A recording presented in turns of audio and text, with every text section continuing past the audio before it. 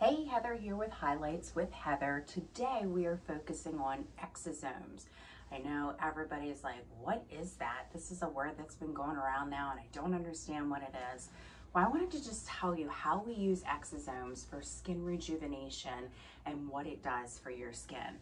So as we age, we lose collagen, we use, lose elastin, we lose all kinds of stuff that we used to have when we were younger.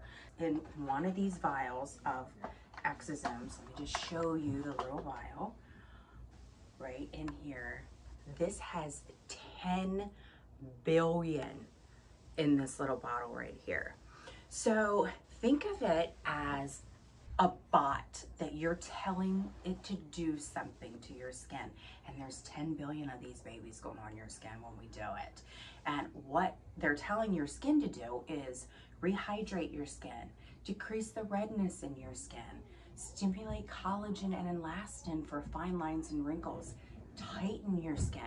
This is like a revolutionary aesthetic treatment. Um, we've had PRP in the past, which we still use because some people really enjoy the, um, the outcome for PRP.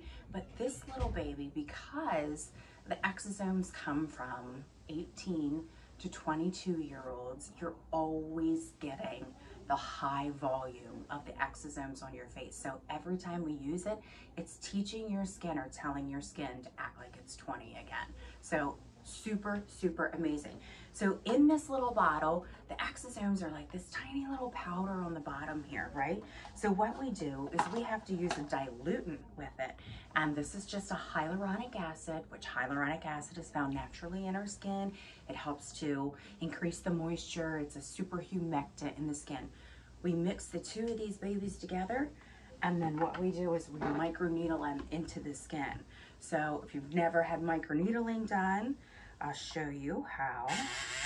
So this is just the sound of it, what the microneedling does. So we'll use the microneedling, we'll use the solution, put it on your skin, and then we will just go all over your skin with it and actually input it into your skin. Microneedling is a controlled way to make a few little damages into the skin so we can poke some holes down there and put those exosomes right where they need to go. So one of the biggest questions that I get is who are exosomes good for?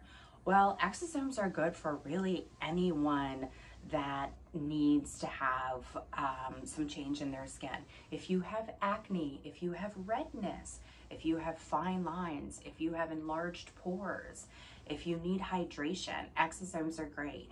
Um, maybe you tried PRP in the past and maybe just because you didn't have enough platelets, just because your body did not produce enough platelets, you didn't get as great of a result.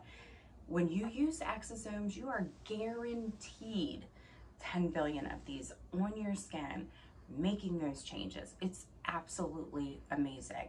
So anyone, good for anyone. Usually we start using exosomes around, around age 30, 35 and up um, because a lot of times that's when we start to lose our own natural platelets in our skin that help to do those things to repair the skin. So if you have any additional questions about exosomes, please, please um, type me a message, um, schedule a free consult. The consults are absolutely free. There's no obligation.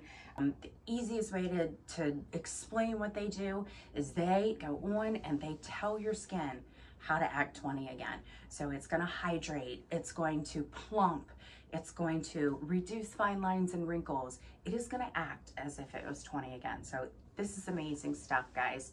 Again, any questions, just go ahead and send me messages and I'll be sure to answer anything you have.